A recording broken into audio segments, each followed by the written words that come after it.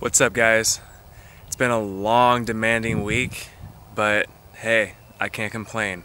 I'm blessed, uh, happy to be here with you guys. I managed to squeeze this in because I want to keep reaching out to lives that need to be touched and and lives that need to hear this message. But um, just staying busy, staying busy. But I wanted to shine some light onto a topic that I feel is very important. And the topic of today's video is going to be life is not a race. Take your time.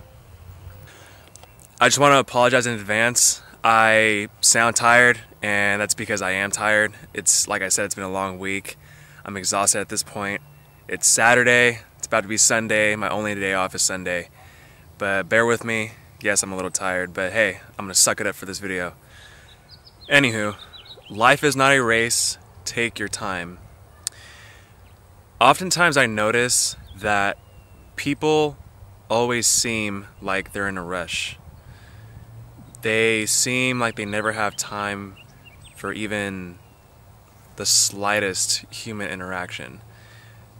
They're either walking with their head down, they're just preoccupied, and they're kind of just like canceled out, they're signed out of reality. And I think this is because they're so consumed with the idea that I need to do something now or it will never get done. And I think that before you decide to think that way, you have to understand that time is on your side. A lot of people often mistaken the whole concept of time. And I believe that instead of thinking time is against you, I believe that you should think time is on your side. Society has given us this blueprint where it's like you need to be successful in the shortest amount of time possible. In theory, this is a good blueprint to have. It's a good mindset to adopt. But this causes causes us to overlook the minor and priceless details of life. I feel like we're always so rushed and so stressed because we choose to be that way, and it really doesn't have to be that way. We forget to spend quality time with our families, quality time with our friends, uh, just quality time with our community. But we never forget to to be just constantly, you know, on the grind and and making a living. And this isn't bad. We have to make a living. We have to sustain our lives, sustain a life. Um, you know, this is what our society has taught us. And what what I'm trying to say is we have to be aware that we can't always be tunnel vision. We can't always be, you know, focused like a laser beam. Um, we have to be aware that we have to set a time, set a time apart to be with the ones that we love. We have to set time apart for our hobbies, for things that we like to do. Um, whether that's going to the gym, going for a hike, uh, going and taking pictures, um, cooking, reading, whatever that might be. We have to make sure that we're not so caught up in our in our daily grind, but we have to uh, make sure that we're setting time apart for ourselves. It's the healthy thing to do.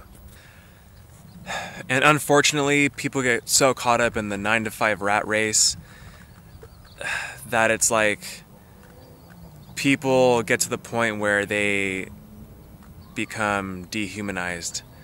It's like people aren't people anymore. They're not human beings anymore. They they're almost like emotionless zombies, I feel like. They're inauthentic.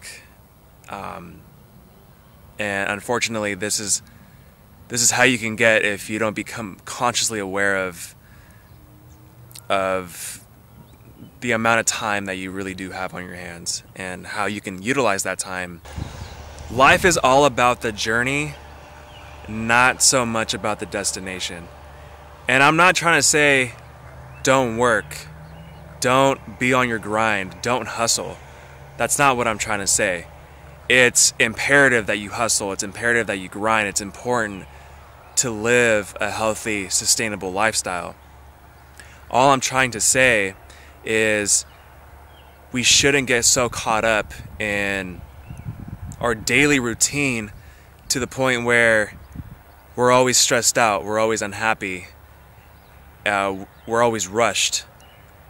We shouldn't reach that point, but rather we should enjoy the little things along the journey, the little bits and pieces of a, of time that we get to spend with our friends and family, um, the good deeds that you're able to to participate in throughout the daily lives of other people.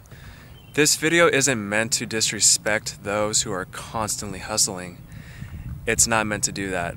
It's never my intention to to throw shade in the ways of people who work hard. But my intention is to help those realize the people who have a hard time um, taking a break from work when they get back home and living their normal lives once they get back home. Um, my intention is to help those um, people develop skills to to help them transition from the workplace back to home and enjoy their daily lives and live happily, you know, throughout the week. That is again the purpose of this video. And like I said, life is not a race. Just give yourself permission to relax, to chill out. It doesn't always have to be go, go, go, go 110 miles per hour every day. You have to let yourself relax, give yourself permission to do things that make you happy and escape reality. So take your time with life. Even if it's a struggle, even if you're dealing with a struggle, with a challenge, take your time with it. We do our best work when we're relaxed. And one way to become relaxed is understanding that time is on your side. So, therefore, take your time with life.